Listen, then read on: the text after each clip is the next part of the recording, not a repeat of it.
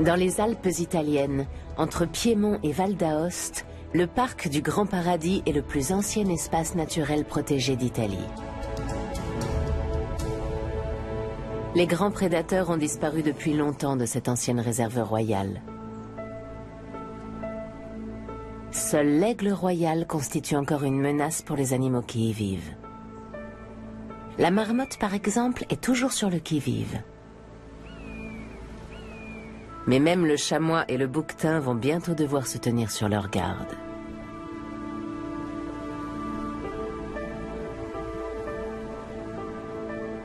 Car le loup est en train de reconquérir les Alpes.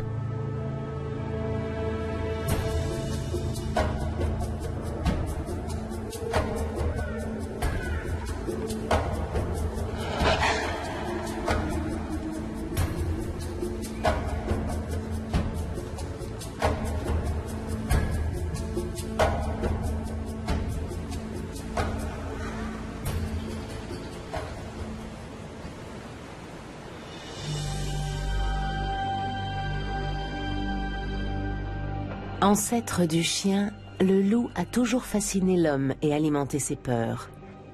Certes, ce n'est pas un tendre, mais sa réputation de tueur n'est pas méritée.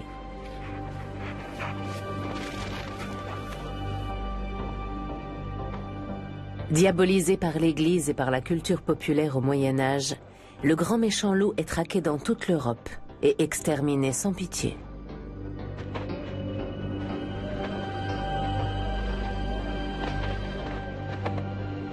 Au début du 19e siècle, il ne reste plus que quelques meutes en Scandinavie, en Europe de l'Est, en Espagne et en Italie.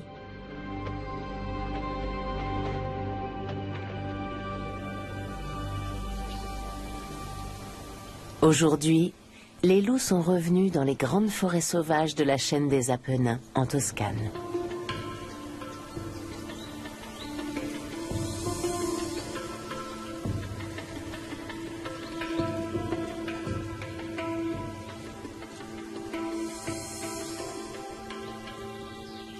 Bénéficiant du statut d'espèce protégée en Italie depuis 1976, les loups ont pu recoloniser les régions qu'ils fréquentaient autrefois.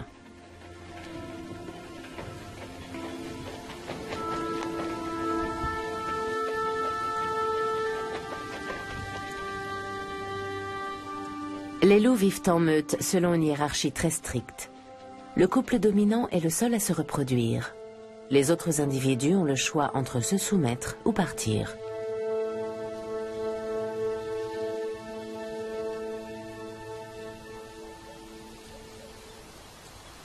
Les louveteaux quittent leurs parents au plus tard vers trois ans, quand une nouvelle portée arrive. Ils se mettent alors en quête d'un territoire pour fonder une famille.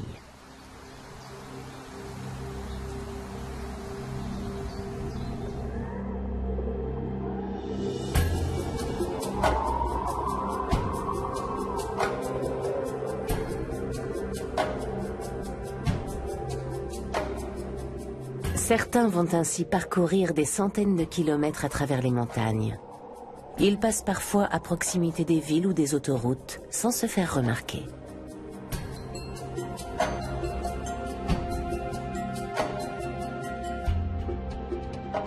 On trouve leurs traces dans toute l'Italie.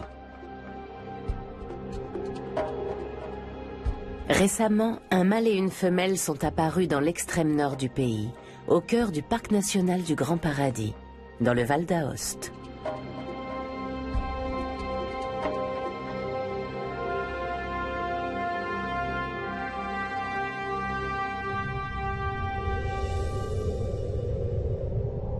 Ils ont probablement parcouru plus de 300 kilomètres.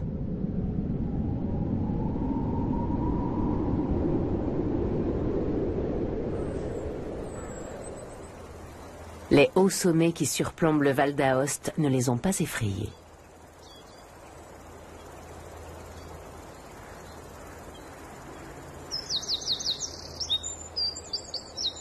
De nombreuses espèces ont trouvé refuge dans le parc du Grand Paradis, comme le lézard vivipare, une espèce protégée.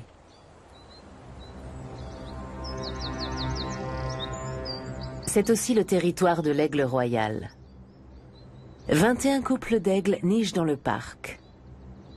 On les voit régulièrement tournoyer dans le ciel à la recherche d'une proie.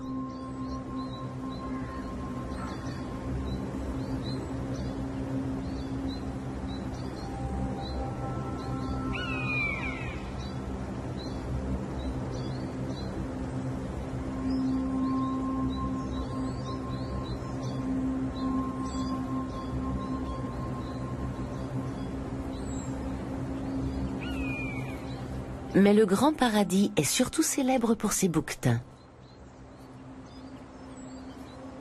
Le biologiste Stefano Grignolio les étudie depuis 2003.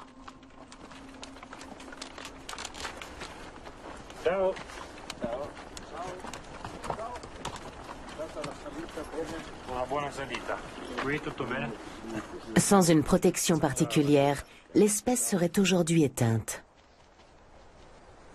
Tu as vu des mâles? Non, pas ici, mais il y en a quelques-uns là-bas. Les femelles ont eu des petits. Elles se tiennent sur leur garde, car l'aigle royal menace en permanence les cabris. Les chercheurs l'ignorent encore, mais bientôt c'est le loup qui pourrait mettre la survie de l'espèce en danger. Pour l'instant, les cabris sont en relative sécurité à 2500 mètres d'altitude.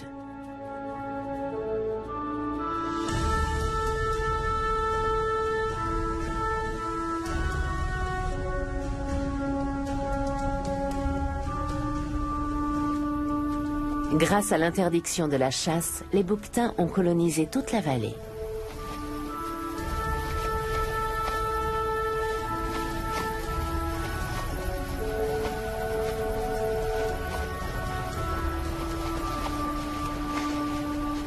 Les cornes du mâle sont grandes, épaisses et recourbées vers l'arrière. Elles peuvent atteindre un mètre de long. Le Val Savarenche est l'une des vallées protégées du parc. Le sommet du Grand Paradis, qui culmine à 4061 mètres, y attire beaucoup de touristes. Cela ne semble guère gêner les bouquetins. L'homme a pourtant longtemps été leur pire ennemi.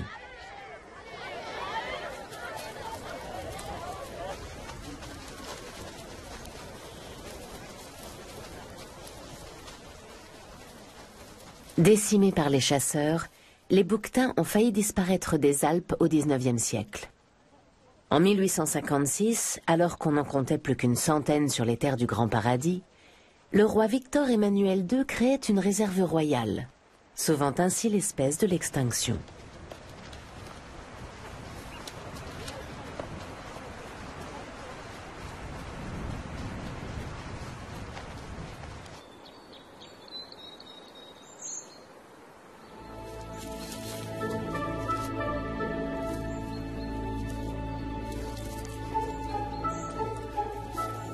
En 1922, la réserve est devenue un parc national où toutes les espèces sont protégées.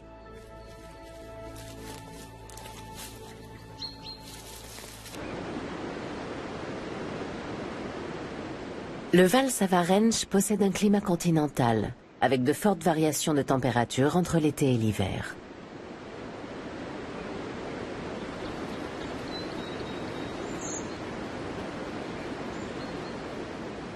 À la belle saison, les chamois descendent à faible altitude pour brouter l'herbe tendre.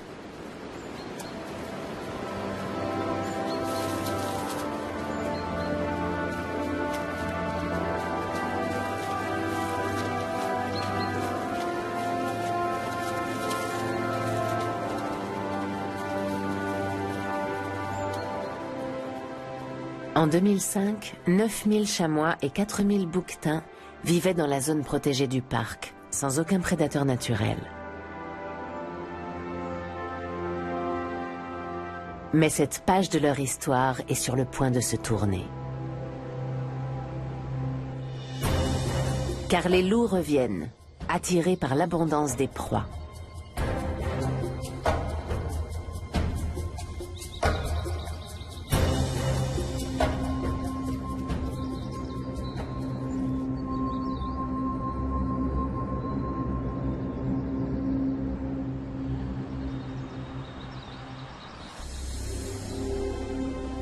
Les gardes-chasse et les biologistes ne les ont pas encore repérés.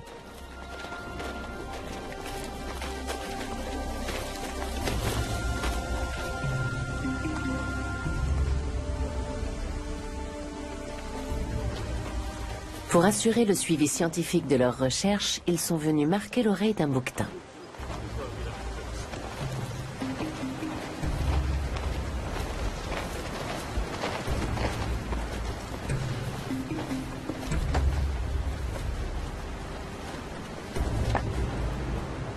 Luigino Giocole dirige les gardes-chasse. À l'aide d'un fusil chargé de flèches hypodermiques, il endort les animaux. Si l'anesthésie est bien envoyée, elle agit en moyenne au bout de 10 minutes.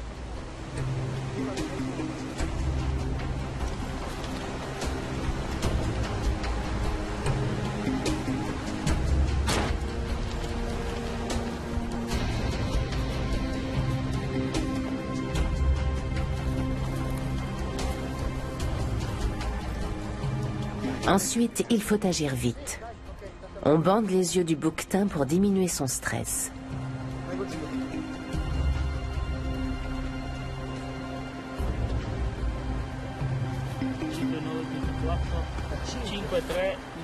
Puis on compte les stries de croissance de ses cornes pour calculer son âge.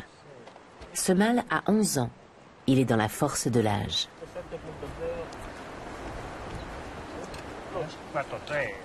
Il ne reste plus qu'à le marquer à l'oreille. Il fournira désormais de précieuses informations à Stefano Grignolio.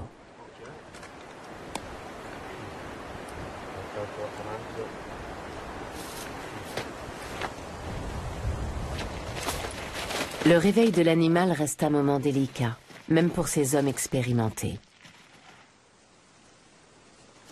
Ses cornes sont une arme redoutable qu'il sait manier avec précision.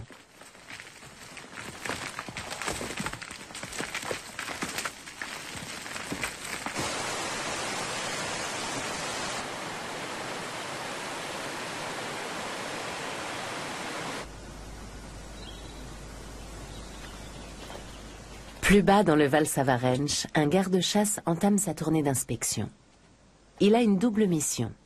Vérifier qu'il n'y a pas d'animal blessé ou présentant un comportement anormal, et veiller au bon respect du règlement par les touristes.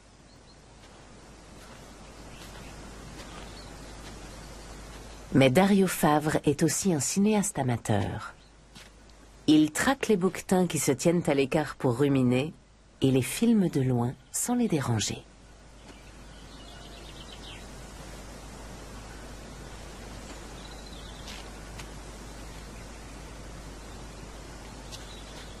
Il emporte toujours sa caméra avec lui.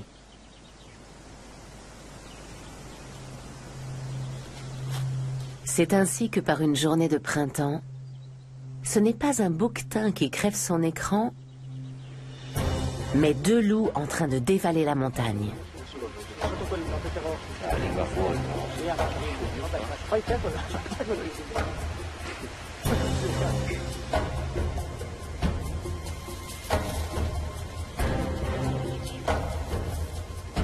Les bêtes semblent craintives. Malgré la distance qui les sépare du garde-chasse, elles ne cessent de le surveiller du coin de l'œil. Les traces qu'elles laissent derrière elles vont permettre de déterminer leur origine. L'analyse génétique des poils et des excréments révèle que ces loups proviennent de deux meutes différentes du sud du Piémont. Mais l'hiver arrive les loups vont-ils migrer vers des cieux plus cléments?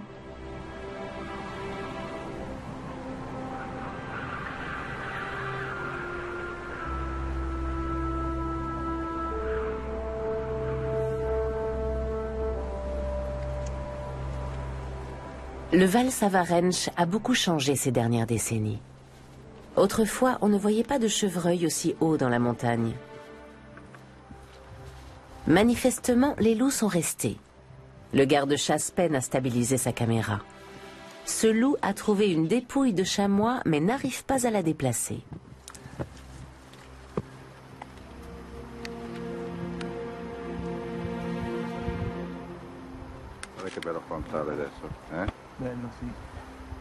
Les gardes-chasse sont inquiets. Les loups sont-ils une menace pour les bouquetins et les autres espèces protégées du parc?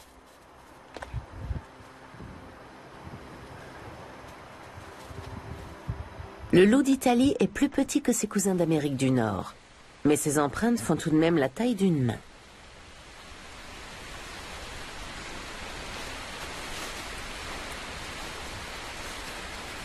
Les gardes-chasse en voient de plus en plus souvent. Le loup et la louve ont l'air de s'installer.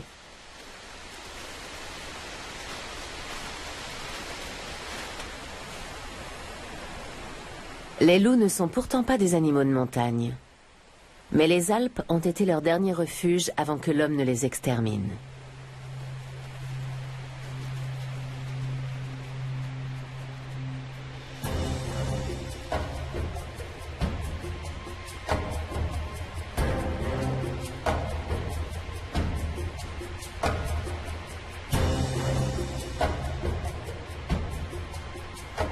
Officiellement, le dernier loup du Val Savarenche a été abattu en 1862.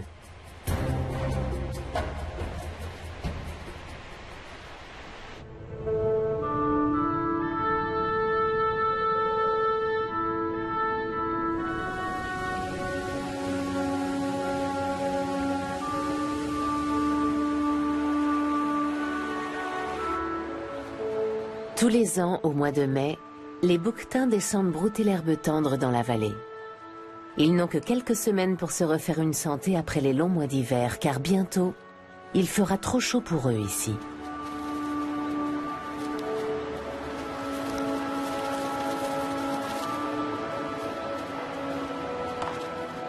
Les mâles prennent tout de même le temps de tester leur force en vue de la saison du rut.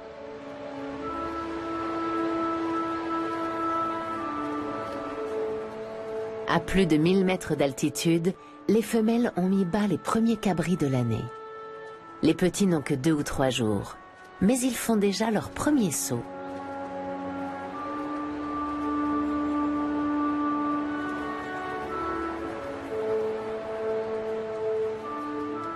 Petites boules de poils d'à peine 3 kilos, les cabris sont la proie de nombreux carnassiers. Pour les protéger, les femelles se retirent avec eux sur les rochers escarpés.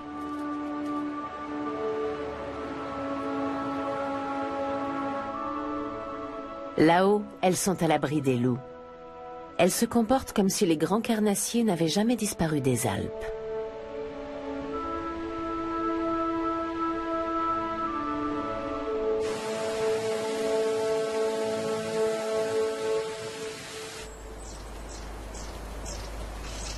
La tournée d'inspection des gardes-chasse est plus facile à la sortie de l'hiver, lorsque le soleil a fait fondre la neige.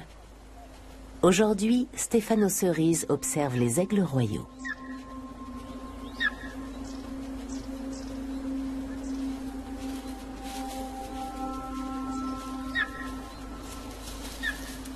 C'est l'époque de la ponte.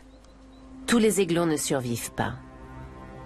Mais vu la taille de sa proie, cette femelle a des petits à nourrir. C'est un cabri entier qu'elle rapporte au nid.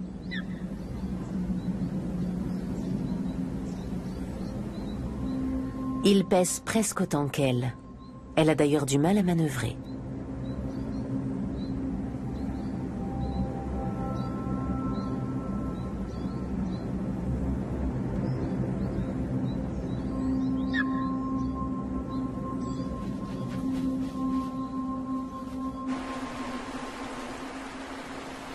C'est aussi à cette saison que les louves mettent bas.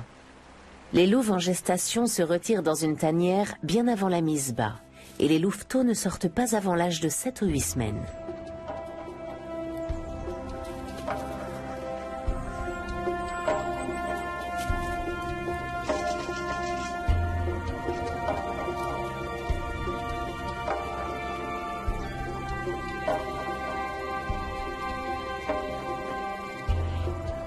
Lorsqu'ils s'aventurent à l'extérieur de la tanière, un adulte est toujours là pour les protéger.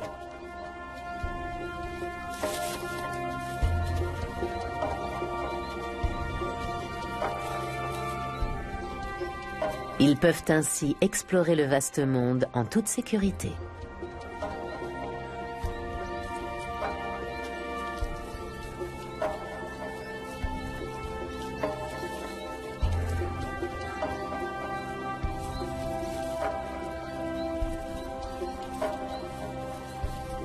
Pour se nourrir, ils lèchent la gueule des adultes, ce qui déclenche chez ces derniers un réflexe de régurgitation des aliments.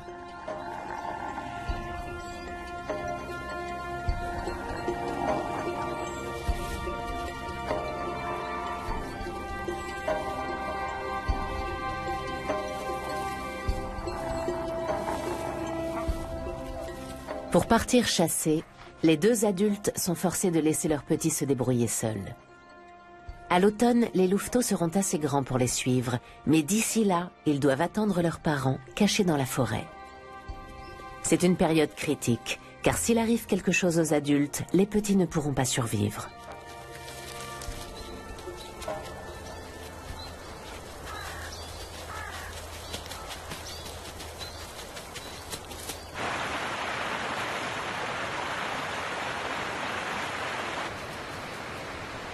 Les parents doivent trouver suffisamment de proies pour nourrir toute leur petite famille. Comme l'homme, le loup utilise tous ses sens pour s'orienter. Mais son odorat est mille fois plus développé que le nôtre. Il peut repérer une proie à 3 km à la ronde. Le couple du parc national du Grand Paradis a un faible pour les chevreuils et les chamois. Chasser un chevreuil adulte n'est pas une mince affaire pour deux loups.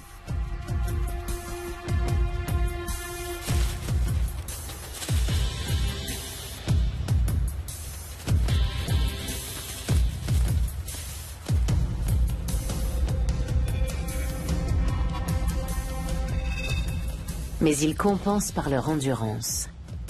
Les loups sont capables de tenir une vitesse de 65 km h durant un long moment, contrairement aux chevreuils.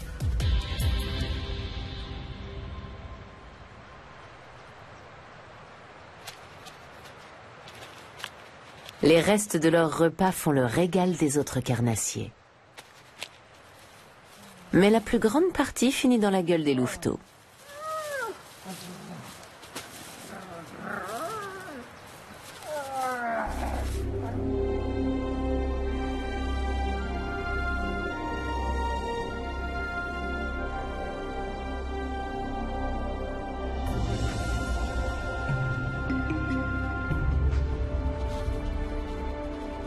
Avant même la création du parc national, les animaux menacés par les braconniers faisaient l'objet d'un suivi. Régulièrement, les gardes-chasse de la réserve de Victor Emmanuel II recensaient les populations de chamois et de bouquetins, comme les gardes-chasse d'aujourd'hui.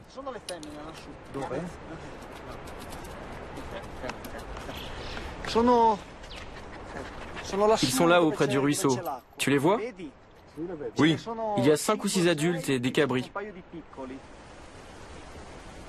Depuis quelques années, les populations de caprins diminuent. Le phénomène a commencé avant l'arrivée du loup. Il est difficile d'en étudier l'origine, mais le changement climatique joue sûrement un rôle. L'herbe se faisant rare en altitude, les femelles mangent moins, ce qui pourrait contribuer à une baisse de fertilité et donc de la natalité. Les gardes-chasse craignent que l'arrivée des loups n'aggrave une situation déjà inquiétante.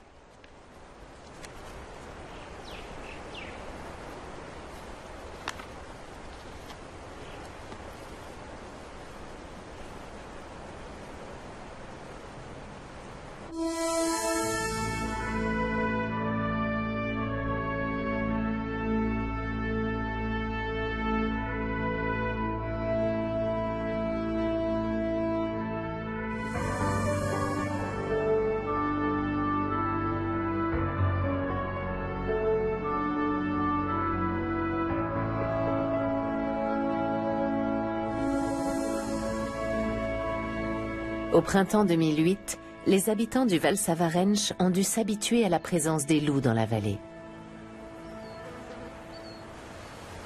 Ariane Gianni a toujours vécu ici. Elle monte tous les jours, sauf s'il y a de la neige.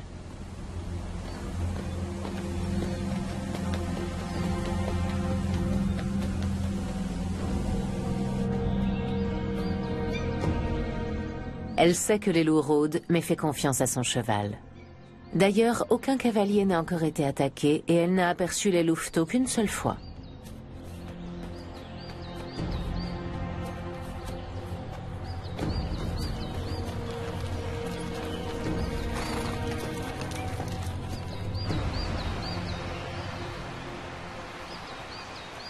Ils sont déjà grands et semblent habitués à l'homme.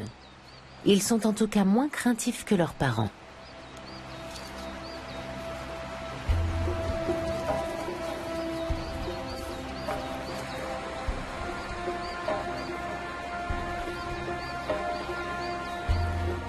Ils ont atteint l'âge où les louveteaux se battent pour un rang dans la hiérarchie au sein de la meute. Les parents ne s'immiscent pas dans la querelle, aussi violente soit-elle.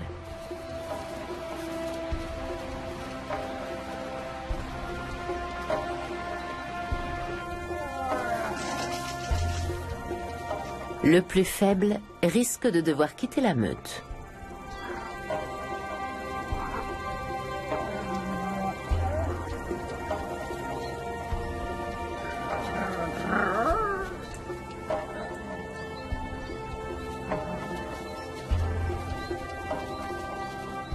Moins qu'ils ne partent tous les trois fonder leur propre famille, comme l'ont fait leurs parents.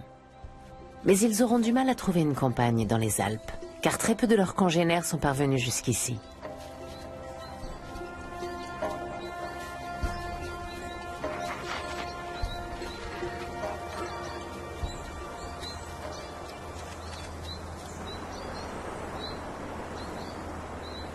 Pour étudier la faune du parc du Grand Paradis, les biologistes travaillent en étroite collaboration avec les gardes-chasse.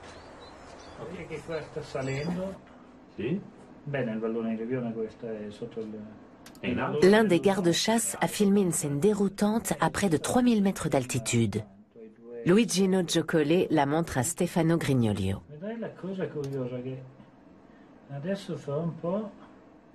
C'est la preuve que les loups s'aventurent en haute altitude.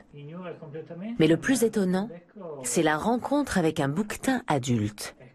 Le loup passe son chemin, alors même que le bouquetin semble le défier d'un geste de la tête.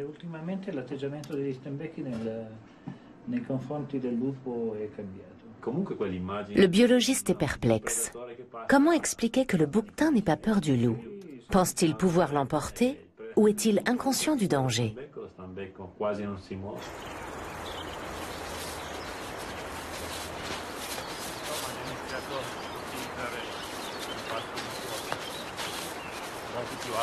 Quoi qu'il en soit, ces images semblent indiquer que le loup n'est pas une menace pour les bouquetins du Grand Paradis. Les biologistes ne sont plus inquiets, d'autant que les caprins ont recolonisé d'autres vallées.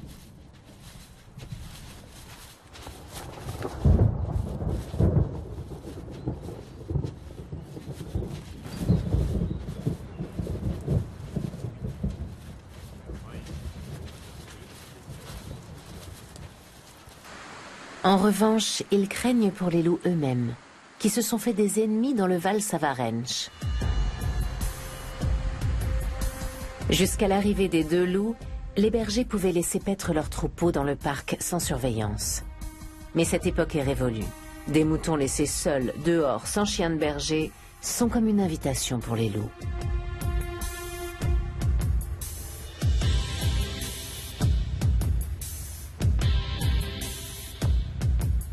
Les moutons n'ont pas appris à garder leur distance ou à fuir.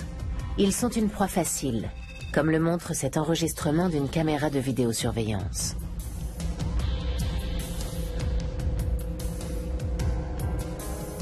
Les loups arrivent souvent à tuer plusieurs bêtes dans la même nuit.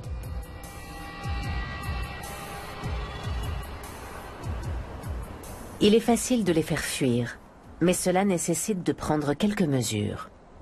Si les loups restent ici, les bergers devront mieux protéger leurs troupeaux.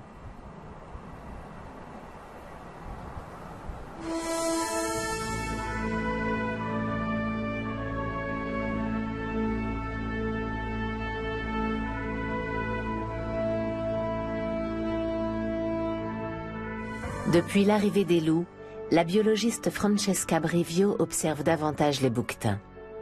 Pour l'instant, le comportement des mâles adultes est inchangé.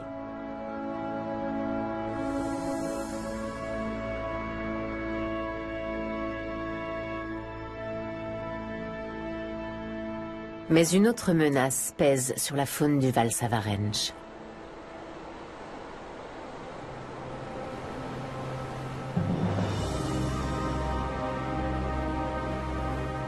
L'hiver 2009 a été le plus rigoureux depuis 30 ans. Sous l'effet du changement climatique, les intempéries ont été particulièrement violentes.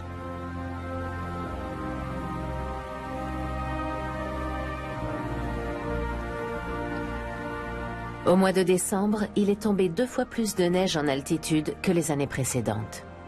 Chez les bouquetins, la plupart des mâles ne sont pas parvenus à rejoindre les aires de reproduction. Même les agiles chamois ont eu du mal à atteindre leur zone d'hivernage habituelle.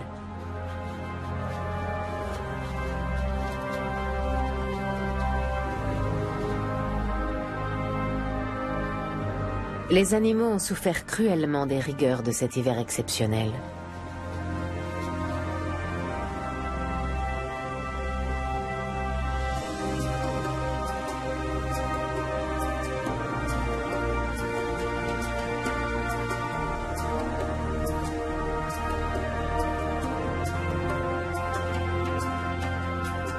Les loups sont capables de s'adapter aux conditions de vie les plus rudes.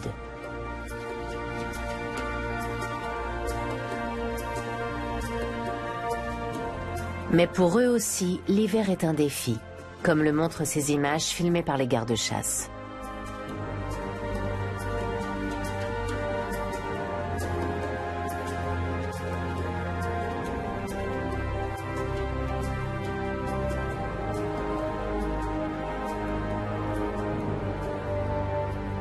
Le froid, la neige et le risque d'avalanche empêchent les biologistes et les gardes-chasse de suivre de près les animaux du parc. Ils doivent attendre le printemps pour savoir qui a survécu.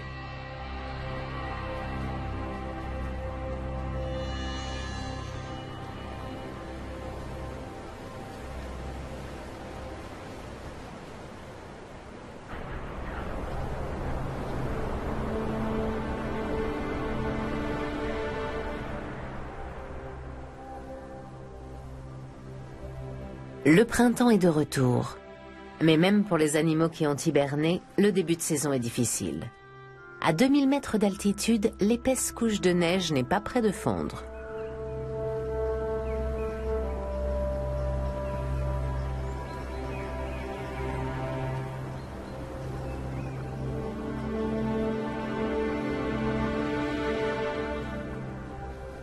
Les marmottes sortent de l'hibernation. Après six mois sans se nourrir, elles ont perdu un tiers de leur poids.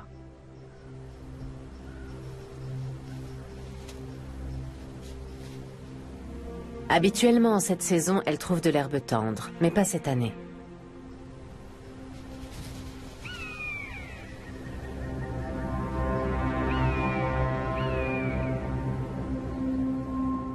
Les rapaces comme le gypaète barbu se réjouissent du malheur des autres. Lorsque la neige fond enfin, les carcasses d'animaux affleurent un peu partout.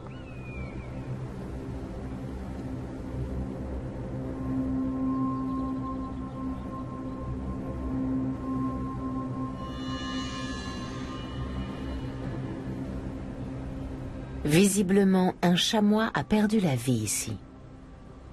Quand les rapaces, les renards et les loups se disputent la moindre proie, il ne reste pas grand-chose des victimes.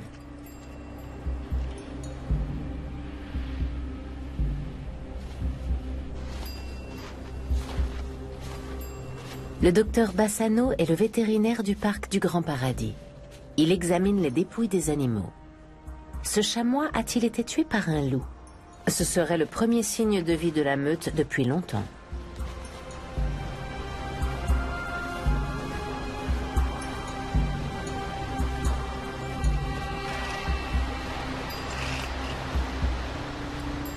Mais non, l'animal est mort de vieillesse un renard s'est jeté sur sa dépouille.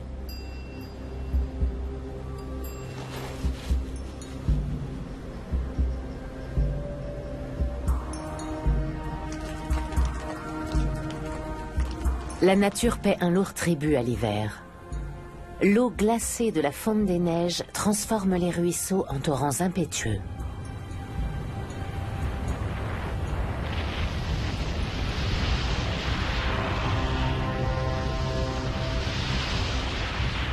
Sur les parois abruptes, elle se mêle à la neige et déclenche des avalanches dévastatrices. Et personne n'est à l'abri. Ce type d'avalanche peut se produire partout avec des conséquences mortelles.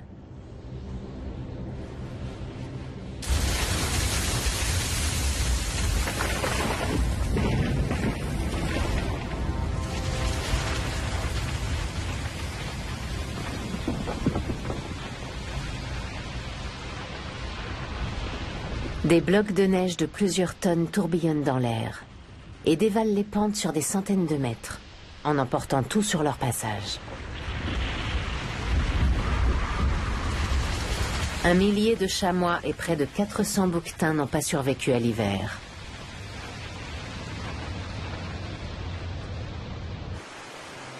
Ici, un mâle dans la force de l'âge a connu une triste fin.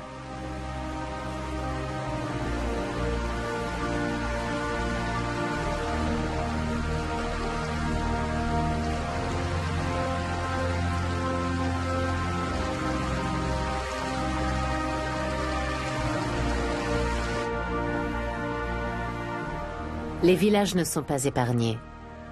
Au Tignet, qui n'est habité que la moitié de l'année, l'avalanche n'a heureusement fait aucune victime.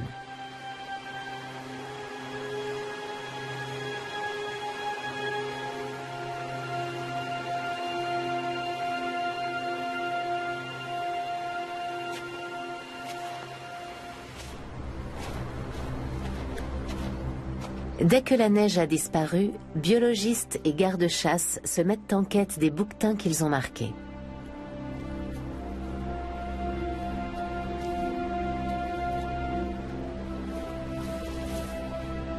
Dans un premier temps, ce mâle est le seul qu'ils retrouvent sur ce versant.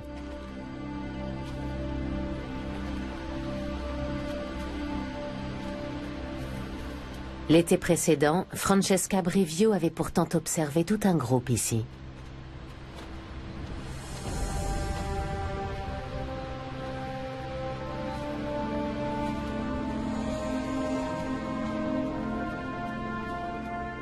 Sur les 70 bouquetins qui ont été marqués ou équipés d'un collier émetteur, un tiers a succombé à l'hiver.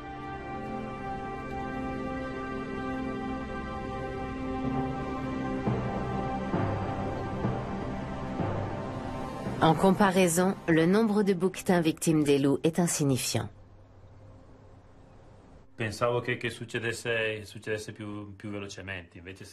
Au grand étonnement de Stefano Grignolio, l'arrivée des loups n'a pas eu d'incidence sur le nombre de bouquetins, ni sur leur comportement.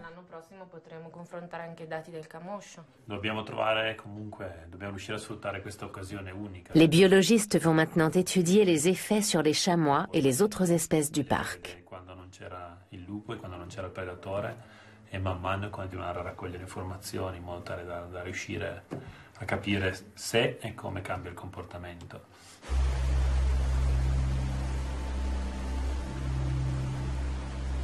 Au fur et à mesure de la fonte des neiges, les dégâts causés par l'hiver apparaissent. Mais les loups restent invisibles. Ont-ils péri eux aussi ou ont-ils migré vers une région plus clémente?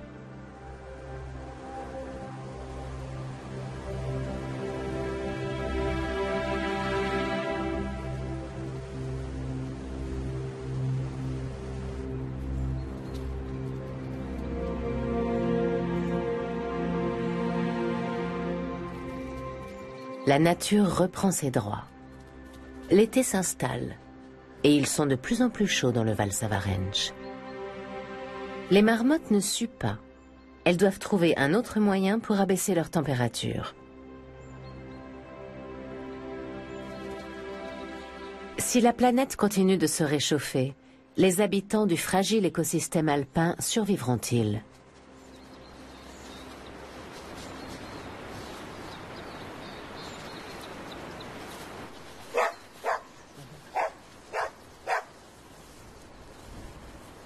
Stéphano Cerise tient enfin la piste des loups. Hier, son chien a trouvé les restes d'un chamois qui a probablement succombé à leur morsure.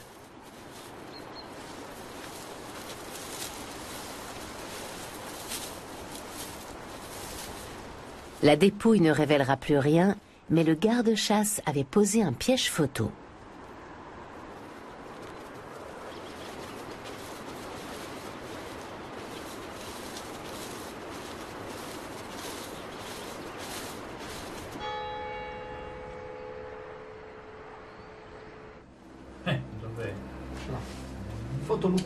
Luigino Giocole est impatient de voir ses photos.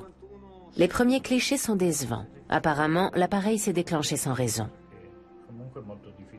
Mais l'une des photos montre un loup adulte et sa proie.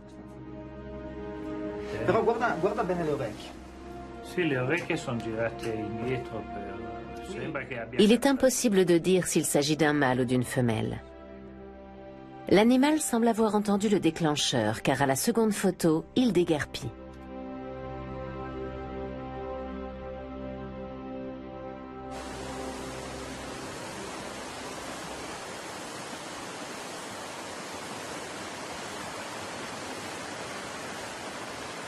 Quelque temps plus tard, les biologistes et les gardes-chasse finissent par retrouver la trace des loups. Le couple Alpha et l'un des jeunes sont restés dans le Val Savarenche. Mais les deux autres sont partis pour la vallée voisine. ne ha fatte più di Carlo in Francia, però ha ra- Aujourd'hui, les loups du Grand Paradis font la fierté des gardes-chasse.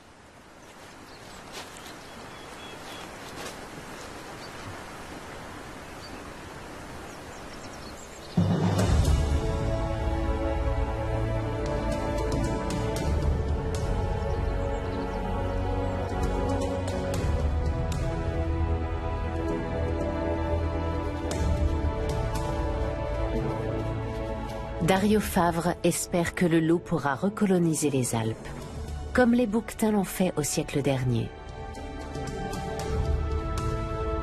Pour qu'il retrouve enfin sa place dans les forêts d'Europe.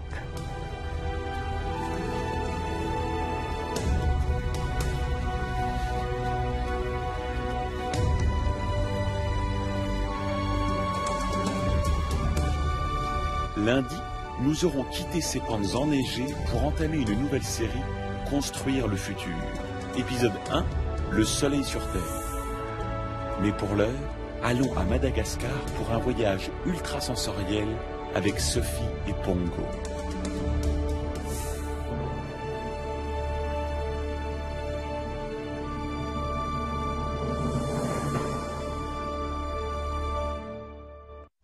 Fuck you. Fuck the